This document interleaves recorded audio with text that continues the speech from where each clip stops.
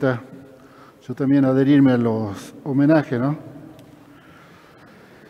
Eh, mi saludo y reconocimiento en el marco del Día del Agente Sanitario a uno de los grupos de trabajadores y trabajadores de la primera línea de salud, aquellos sacrificados y silenciosos hombres y mujeres que transitan barrios, villas o zonas con enormes riesgos sociales y especialmente en pueblos y zonas rurales.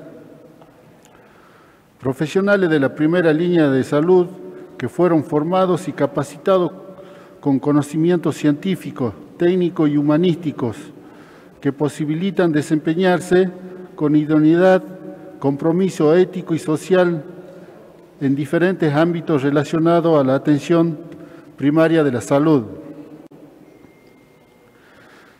Identificar necesidades sociosanitarias básicas en la comunidad, ejecutar acciones de salud y participación comunitaria, de autocuidado personal y colectivo, participar en la elaboración de programas, promoción y educación de salud en equipo, recopilación de datos en terrenos que luego son aplicados en planes y programas de acción de la salud. Entre otros, son algunas de las misiones del agente sanitario. Sin lugar a dudas, quiero saludar especialmente a nuestro extenso departamento de los Andes, a los agentes sanitarios que no solo son el equipo de salud primaria, también son compañeros, amigos, médicos, psicólogos, salvaguardas, asesores, enfermeros, entre otras tantas situaciones críticas en comunidades originarias, familias campesinas rurales, familias y trabajadores mineros, son los primeros en asistir en situaciones de emergencia u urgencias. Son los corredores 4x4 de los equipos de salud en cualquier lugar de la provincia de Salta.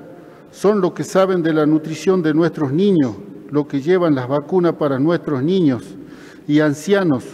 Son los que atienden a nuestras embarazadas durante su periodo de, gestión, de gestación.